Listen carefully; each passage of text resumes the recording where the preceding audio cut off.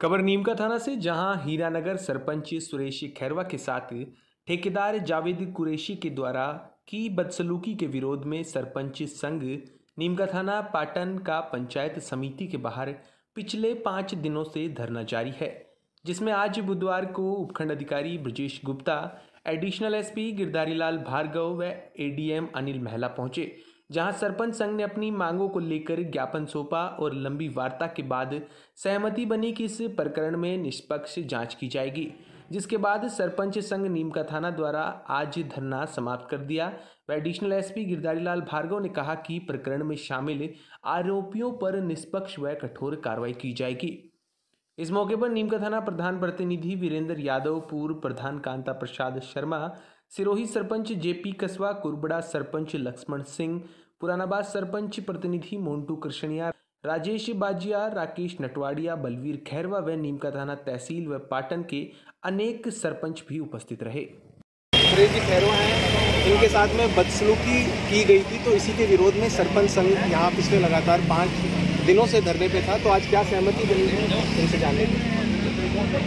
नीमका दाना पंचायत समिति की ग्राम पंचायत हीरानगर के सरपंच श्री सुरेश खैरवा के साथ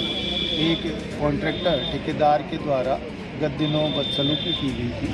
उसके मामले में पंचायत समिति नीमका दाना और पंचायत समिति पाटन सभी उनसठ ग्राम पंचायतों के सरपंच पिछले चार दिन से धरने पर बैठे हुए पंचायत आज इनसे बात की गई है। प्रकरण में जो प्रगति अभी तक हुई है, उससे इनको अवगत कराया गया है और इनको विश्वास दिलाया गया है कि चुने गए प्रतिनिधि जो ग्राम पंचायत के हैं, उनके साथ किसी भी दुर्व्यवहार को हल्के में नहीं लिया जाएगा। दुर्व्यवहार करने वालों को कठोर दंड दिलाएगा हमारी बातों से उन्होंने सहमति व्यक्त की है और इन्होंने धरना समाप्त किया है तो शीघ्र ही इस प्रकरण में कठोर कार्रवाई की जाएगी। तो सर, कब तक जो मांग थी जो गिरफ्तारी की मांग को लेकर कब तक गिरफ्तारी अभी मेरी इनसे बात हुई है। S H O Shri Madhopur को अभी तफ्तीश दी है तीनों पत्रावलियों को। और मैंने इनको ये विश्वास दिलाया है कि जल्दी से जल्दी,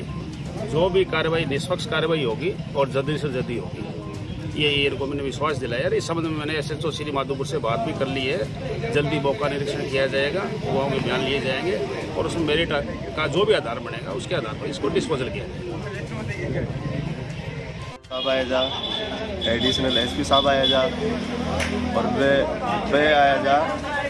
कि थारी में मांग पूरी करांगा। कि समस्या जे कि थारी समस्या नहीं तो मैं हमारी समस्या बताएगी साहब मेरे साथ मारपीट करी, वो जावेद और हमारा सरपंच की मोहर ऐसी लेरवा गो तो थे, जल्दी से जल्दी भी गिरफ़्तार करवाओ, और भी मोहर और सील दिवाओ, जिससे कि हमारी जनता को काम रह सके। मैं आज आके आसपास से संतुष्ट हूँ, और जल्दी भरोसा है कि भी अपराधी ने भी पकड़ लेंगा, और को जो टेंडर फेंडर चाले जी पानी भी निरस्त कर देगा।